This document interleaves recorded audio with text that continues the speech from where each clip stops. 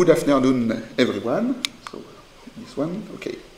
So, I'm Jean-Paul Chaput, and I will present you uh, today uh, Coriolis, which is a, a RTL to JDS2 toolchain that was developed at Sorbonne University. So, here is a, a very simplified, sim sorry, I'm still uh, in front, okay. A very simplified view of the design flow. And uh, on the left, you have the hardware description language, whatever they are. Then we go through logical synthesis, and then to the physical synthesis, and then we got the layout. To be uh, completely accurate, Coriolis is the blue part. This is the part that we specifically developed at Sorbonne University. But we have also developed a framework to manage all the, the tool of the chain. But the red one are third party, so developed outside of our lab, but we use them. When we developed Coriolis, we wanted to do something uh, different of what was done at the time, which is uh, between uh, 15 and 20 years ago. We wanted to make integrated tools. That was the key point of making Coriolis. We, do not, we did not want to only share the database, the underlying database, and having tools run one after the other. For example, run first the placement, then the global routing, and finally the detailed routing. What we wanted is that all the tools reside in memory at the same time. And they can be, uh, part of the tool can be run, the, the tools are run sequentially, but with part of them not in order. For example, typically we, uh, we use that to tightly integrate the global routing and the detailed routing, and some part of the uh, detailed routing are run before the global routing. And the fact that everything resides in memory allows us uh, full communication between the tools. We don't need files, we don't need uh, extra things. We can really bind the tool together very tightly. And this is a key point of Coriolis. So you have the, the, the database on the left. The end result of that is, and finally, we wrap everything in Python. The whole tool, the, the whole set of tool, is uh, completely scriptable in Python. I mean by that that in the end we don't have a binary. There is no one binary uh, with Coriolis. We have just a set of library which is then bound by Python. We write the computationally intensive part of the tools in C++, put them in library, and then we assemble the library the, C, uh, the, the, the way we want. And we can this is for experimental needs, so we can rearrange the tools, we can do a lot of experiment uh, with, uh, with Python, which is much faster than doing it with, uh, directly with C++ code. This is doing for, we do that for fast prototyping. So the, the end result is a mix of C++ uh, highly uh, efficient tools and Python glue, and even maybe Python algorithm sometime. So part of it is written in Python, part of it is written in C++ in an almost seamless way. We can really uh, efficiently communicate between Python and C++. Um, so this did allow us to completely integrate analog design. Uh, there is one feature which is not represented here, but we will see uh, an example at the end of the presentation. We can completely mix analog and digital design. Um, in, there is no longer, if for the designer in the room, there is no longer analog on top or digital on top approach. It's seamless. This is still a demonstrator, but we have all the capabilities to do it, and we, we will achieve it uh, sometime soon. So, what the current capabilities of uh, Coriolis are?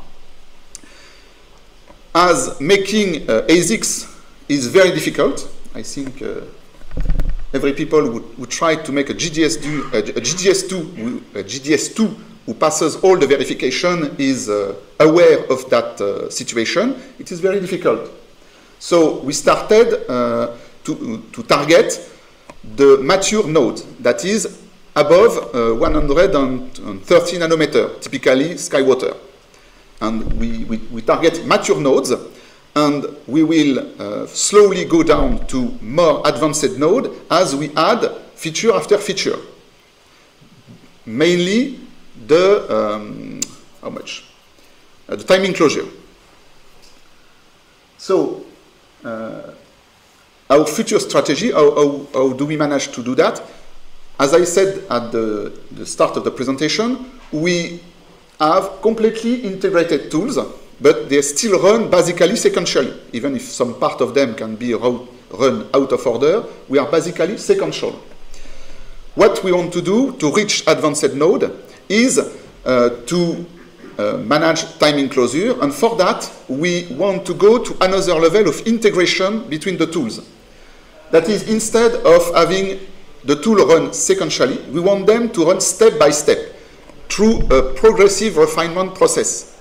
The idea is basically to make one step of placement, then perform uh, an analysis of the timing, extract some uh, constraints, some uh, information that will guide that, that will guide the next step of the placement, and that uh, that in, involve global routing and placement, and we will go down progressively until all the objectives are met.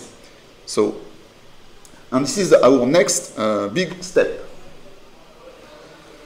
So this is the challenge. Uh, I think I didn't forget anything. Okay. So here is the first example of design that we do.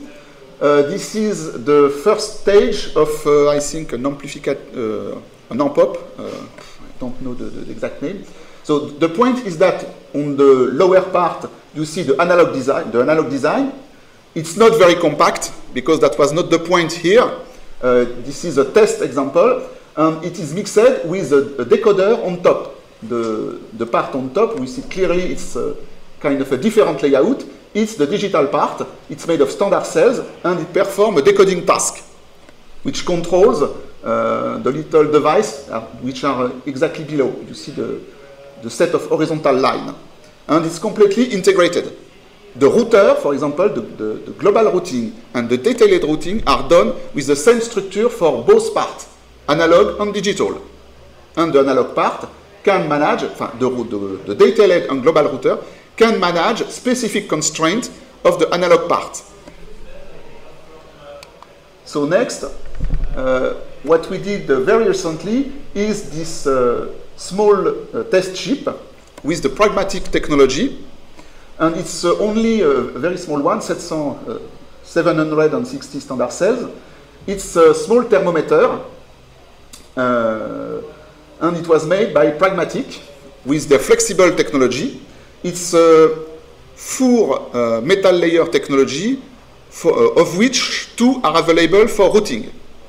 So it's uh, kind of a bit tough for the router because it has only two metal, two metal, uh, two metal layer for routing, and it was still able to complete in over-the-cell routing.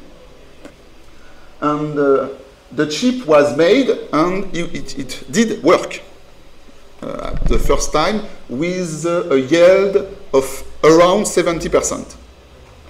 So it was uh, very interesting. The next one is the biggest still that we did with Coriolis. So it's uh, 1.3 million transistors. It's an implementation of, of LibreSoc chip. It is, the, it is an open power architecture. So it's uh, quite different from RISC-V still and we were partially able to test it due to some difficulties. Uh, we were only able to check the PLL, but that uh, says a lot for us because it means that the IO pads works. It means that the standard cell works, especially the D flip-flop, because the PLL contains the flip-flops. And the PLL did work and generate clock at the uh, expected speed. But to, due to some uh, problem out of our control, we, were, we weren't able to, to fully test the chip.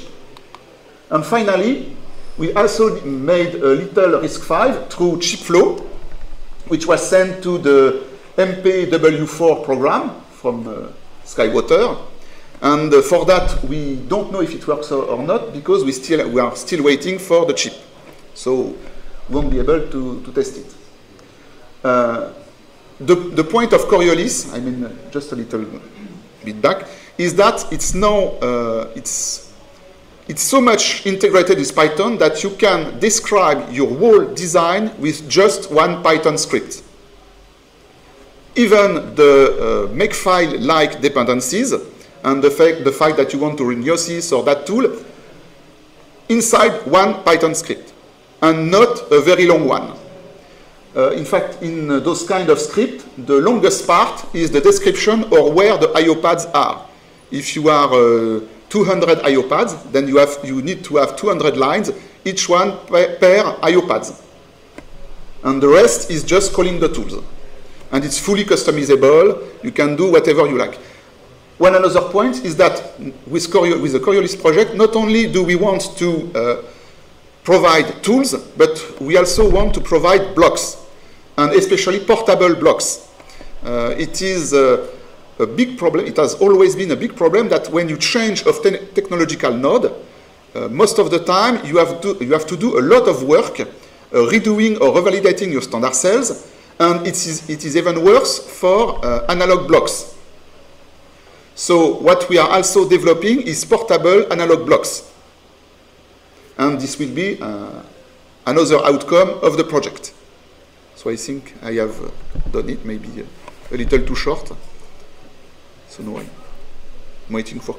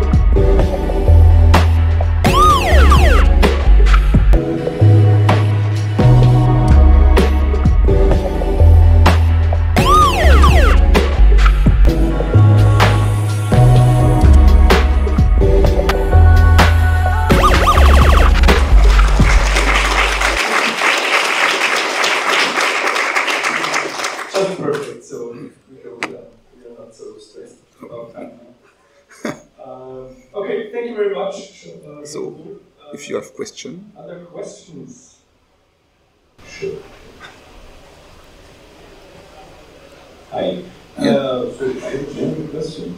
There are other tools like OpenROAD, uh, OpenROAD. Uh, why do you let that in fact, uh, in terms of chronology, we were the first. uh, we, we, are uh, we, we, the, the, the Coriolis project started uh, around the year 2000. So, but as we are a little team, we we have to progress slowly and methodically through the tools. So this is why, uh, and we have the the problem is about the database. One of the problem is about the database. We developed a very specific database, uh, exactly tailored to suit our needs. And it is difficult to, after a long time of developing over it, to switch to another one. And for, uh, uh, I would say, it's not, uh, it's, it's, not very beneficial. The, it's, it's, just, if you change your database, basically you do exactly, exactly what you have done before, but on another database. So unless there is a very big incentive to do it, I mean, you, you, you, you, you gain something at the end. If it just, uh, if it just switching the database, at least for now, it, now, it has no interest. But uh, in fact, uh, as I said, uh, we started more than 15 or 20 years ago, depending on the starting point. Uh, but we are thinking about changing our database. Uh, it, it, may occur in the future, but it's, it will be a slow move and uh, one which is uh, be very well uh, planned.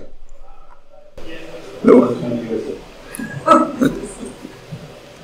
one, one comment is that we all wanted to use open access, but open access is not open. Hmm. So we use the Athena Design Systems database. Uh, it was donated to the project um, by defunct EDH. We have to three companies IP donated to the project even from the get-go. And, and uh, that was what we started with. It's, it's a fully open access equivalent, say, Tom Geocaris developer.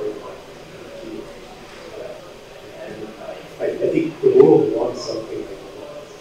It was good enough for handling cables. So it's, it's hard to find such a thing. Thank you. More questions?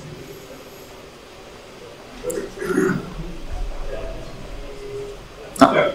Can you share your timeline for the full mixing of flow? We- we- sometime soon. Uh, I don't. Uh, I don't have a timeline yet. I know exactly what we have to do. We are in the process of hiring people, and it will depend on if we succeed or not. It's. I am. I cannot give you a, a definite timetable because uh, I, I don't know yet. It's too difficult to, to see now. Would would you like to see it done? I'd like to see it done now. Yes, it's. Uh, I would say it's almost working. So we. It depends. It depends on the incentive. Uh, we can uh, refocus our uh, priority if there is a, a, a dem- a demand. That's uh, up until now. It was not our top priority because we have other requests, but uh, that can change. Thank you. So. I have a question, it's a more technical question. You said, you said that you have certain, certain, routines, you're calling task.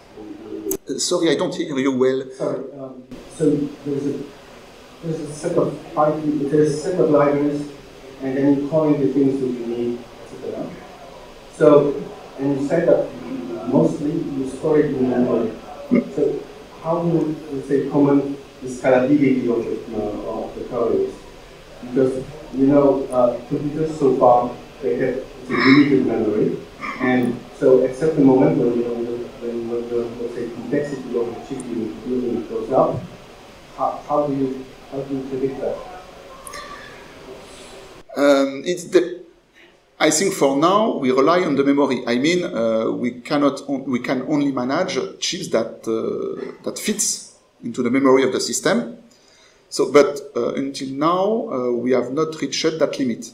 I, I mean, we did not we did not make very huge chip. The the biggest one we make is the the, the TSMC one, and I think it was it fitted in uh, less than 10 gigabytes. Ah, okay. So we, we are we are quite compact in memory. Thank you very much. Thank you. More questions? There is space for one or two more questions. Okay, so thank you very much.